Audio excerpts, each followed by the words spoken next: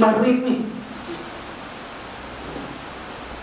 Oh hebat Syekh Lebih temu lagi daripada KL Kalau Kita tengok orang Arab Tak pergi bintang tu pening Itu tak cukup pening tu. Kalau tengok Bahrain lagi pening daripada itu. Ha, Mana datang Papua Arab ni daripada Saudi? Ha, Yang kan Masya Allah Nampak? Ini dia jarum-jarum Yahudi Nasrani yang sudah masuk dalam umat Islam akhir zaman. Bayang Tapi Allah Ta'ala masih sayangkan kita tuan.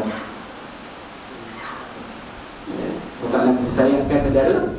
Malaysia sebab dalam negara kita ni masih ramai lagi orang yang Semayang jemaah Lepas semayang jemaah berdiri dan berdoa. Sebab itu Allah Ta'ala lindungi Malaysia ni daripada Apa yang berlaku di Syria sekarang Tak jadi di Malaysia Cuba terbayangkan kalau apa yang berlaku di Syria tu berlaku di Malaysia macam mana tuan?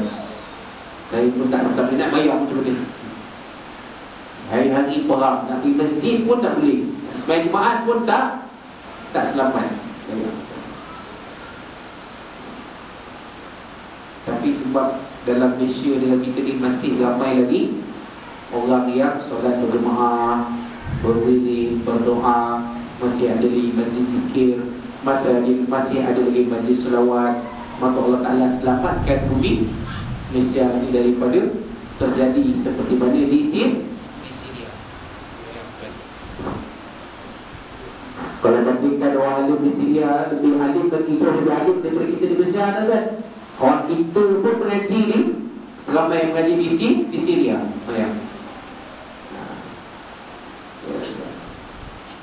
ya. Wallahualam Ramai orang Islam yang dah terperangkap dengan tipu elak Yahudi dan Nasrani dan ramai pula orang yang jadi alat dan tadi baru mereka. Ha. Betul. Kan? Yang buka jalan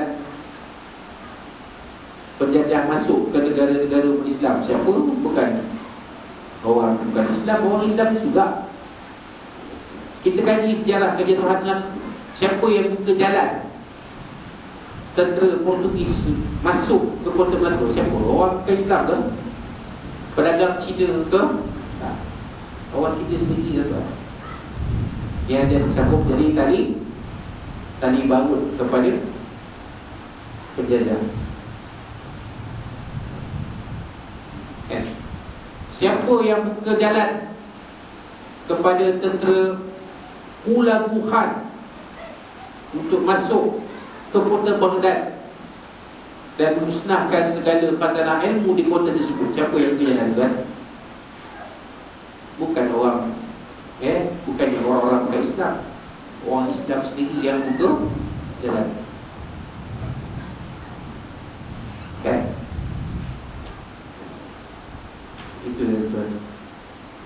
Ini yang disebut oleh pengarah kita ni. Kerana sudah ter tertarik dengan habuan dunia.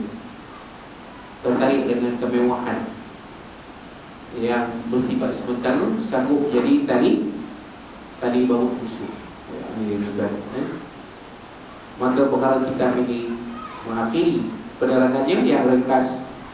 Ya, dengan doa yang ringkas juga iaitu ya Allah selamatkanlah kami dari daripada mereka Kita berzikir Rabbi Salim, Salim, Rabbi Salim, Salim Itu zikir tarikat Ahmadiyah.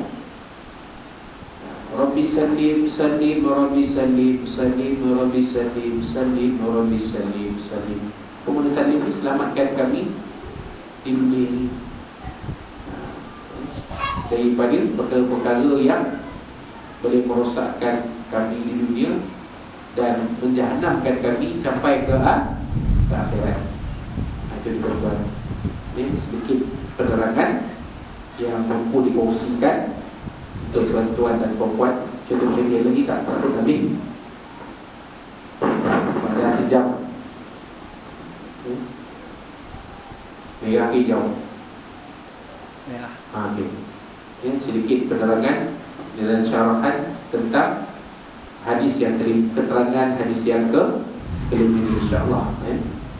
Kita kongsikan pada malam ini. Yang kita sempat kongsikan pada malam ini. Ya. Dan insyaallah pada bulan kita akan datang kita akan sambung dengan hadis yang ke-6 ya, iaitu berkenaan dengan golongan anti hadis. Ha ini pun satu ya perkara yang sangat penting yang perlu kita bincang ya. ya itu bulan kita nanti dua bulan dari sekarang ya iaitu pada ya 4 Februari 2015 ya 4 Februari 2015 kita akan kembali membincangkan kitab 40 hadis ini ya itu berkenaan dengan hadis yang ke-6 Ustaz 22 hadis yang ke-6 tajuknya golongan anti hadis. Manakala bulan depan pada 7 Januari 2016 kita kembali membincangkan isi kandungan kitab tafsir Aibrul Athir ya, seperti mana yang tuan-tuan sedia maklumi ya, kita bergilir-gilir jadi bulan depan kita membincangkan kitab tafsir Aibrul Athir dan kitab 40 ini kita kembali membincangkannya pada bulan Februari akan datang ya. itu pada 4 Februari 2015 2016 insyaallah izin Allah Subhanahu wa taala ya.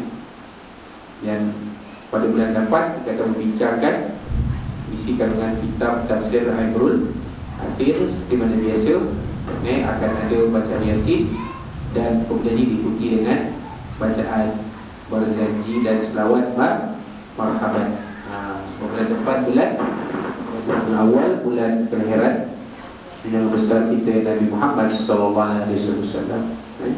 Jadi itulah dia sedikit sebanyak Apa kita boleh kongsikan pada malam ini Dan apa sempat kongsikan pada malam ini Walaupun tidak seberapa Memberi manfaat kepada kita Boleh kita jadikan pada kehidupan kita Mengenai kehidupan kita di orang mati Diberikan kita dari Allah SWT Dan kehidupan kita bersama isteri Suami dan anak kita akan Bagi dunia sampai ke akhirat. Dan kalau ada apa-apa yang disampaikan dalam kuliah ini yang terkasar bahasa dan juru bicara tersebut kata saya mohon bermaaf ya Allah SWT dan Nabi SAW dan dari tuan-tuan dan sekalian المتكلمين والله سبحانه وتعالى بكم أقول الرسالة وقاز لي ولكم وفي تأخر كل كتاب المعلمين لكن تسبيع المطار مسألة العصر بسم الله الرحمن أعوذ بالله من الشيطان الرجيم. بسم الله الرحمن الرحيم.